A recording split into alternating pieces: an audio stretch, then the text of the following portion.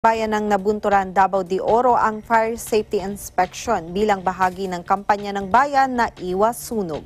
Si Alona Jean Peligro sa detalye. Bilang bahagi sa patuloy na kampanya na iwas sunog ay sinagawa sa bayan ng Nabunturan, Davao de Oro ang Fire Safety Inspection. Pinangunahan ng nasabing profiling at building familiarization ng Municipal Fire Marshal ng bayan, Fire Inspector Cyrus Medina at SFO1 Engineer Christian Lord Coquilia. Layunin ng nasabing pag inspeksyon na matukoy ang degree of hazard ng mga establishmento ng nasabing bayan. Pinayuhan naman ng mga may-ari ng mga commercial buildings na sumunod sa mga regulasyon sa pag-iwas ng sunog, lalo pat nakitaan ang mga ito ng mga paglabag.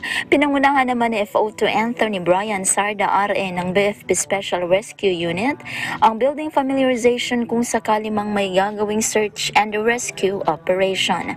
Patuloy din ang kanilang pagpapaalala sa mga mamamayan na sumunod sa COVID-19 na prevention protocols. Para sa Eagle News, Salona Jean Peligro, we live in interesting times.